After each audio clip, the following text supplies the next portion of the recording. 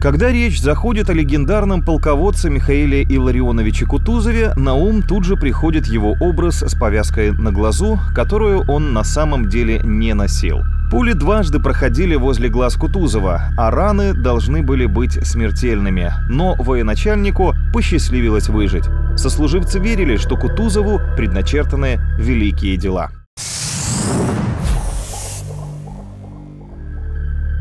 Хороший старт карьере будущего полководца дал Абрам Петрович Ганнибал, когда тот еще учился в школе. Талантливый ученик был представлен ко двору Петра III, что и определило дальнейшую его судьбу.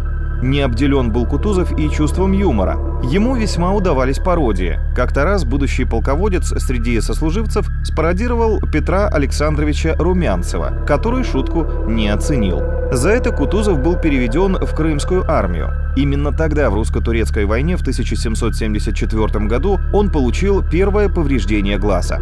Пулям пробила левый висок, носоглотку и вылетела с другой стороны. Ранение считалось смертельным, но Кутузову посчастливилось выжить и сохранить глаз.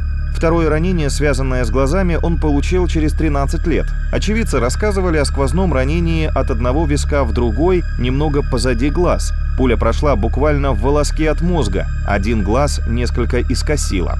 Изумлению врачей не было предела, а солдаты, все как один, видели в этом божий промысел. Кстати, повязку, которая считается неотъемлемым атрибутом Кутузова, он в жизни практически не надевал. Это была выдумка режиссеров в фильмах о полководце.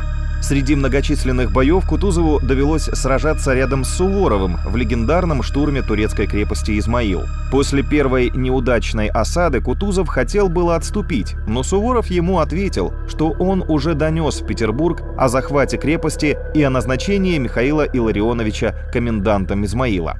Следующий приступ оказался удачным, и крепость была взята. В 1793 году Кутузова назначают послом в Константинополе. Там Михаил Илларионович своим воспитанием и дипломатическим талантом располагает султана Селима III. Поговаривали, что Кутузову даже удалось побывать с разрешения султана в его гареме, что вообще-то было недопустимым для других мужчин и каралось смертной казнью.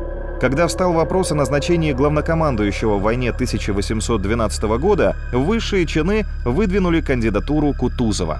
Император Александр I, который не очень жаловал полководца, все же дал свое высочайшее соизволение, уточняя при этом, что сам он умывает руки. Смерть от простуды настигла блестящего полководца 5 апреля 1813 года в прусском городке Бунцлау.